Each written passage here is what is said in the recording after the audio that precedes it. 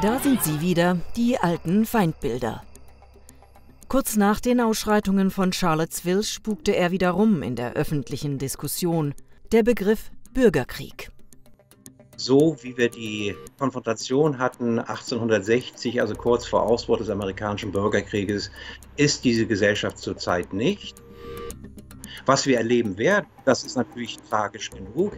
Äh, aufgrund der neuen Präsidentschaft von Trump, äh, dass ein Klima geschaffen worden ist, dass diese Fringe-Gruppen sich jetzt wesentlich mehr herauswagen und solche Symbole, wie wir in Charlottesville gesehen haben, wie Robert E. Lee jetzt benutzen, zum ersten Mal im Grunde genommen in einer nationalen Dimension benutzen, um ihre rassistischen und auch nationalistischen Phänomene nach vorne zu bringen.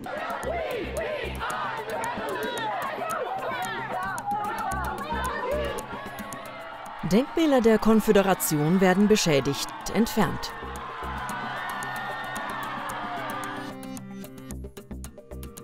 Doch der Präsident verteidigt sie als schön und als Teil der Kultur. So you know what? It's fine. You're changing history, you're changing culture. Welche Statue soll als nächstes entfernt werden? fragt Trump das Aufstellen dieser Statuen, wir haben hier insgesamt 1500 konföderierte Statuen insgesamt, hatten natürlich eine ganz starke symbolische Kraft. Immer wenn es darum ging, das weiße Vorherrschaftsdenken herauszufordern, wurde gleichzeitig von den weißen Eliten dafür gesorgt, dass die Erinnerung an den intakten alten Süden immer wieder in den Vordergrund gestellt wurde.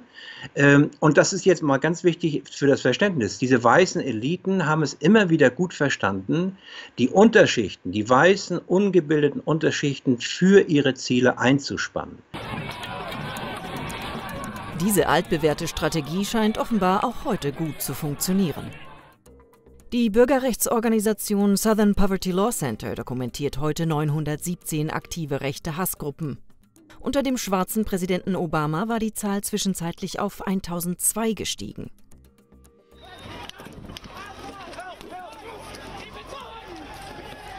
Diese 917 Hate Groups sind in sich zerstritten. Sie haben kein gemeinsames ideologisches Momentum, obwohl die Alt-Right-Bewegung dafür sorgen könnte.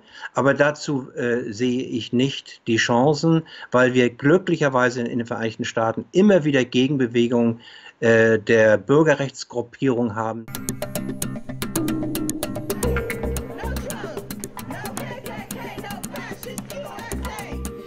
Der Präsident antwortet mit Lippenbekenntnissen, unser Land wird bald einig sein, twittert Trump nach den jüngsten Protesten.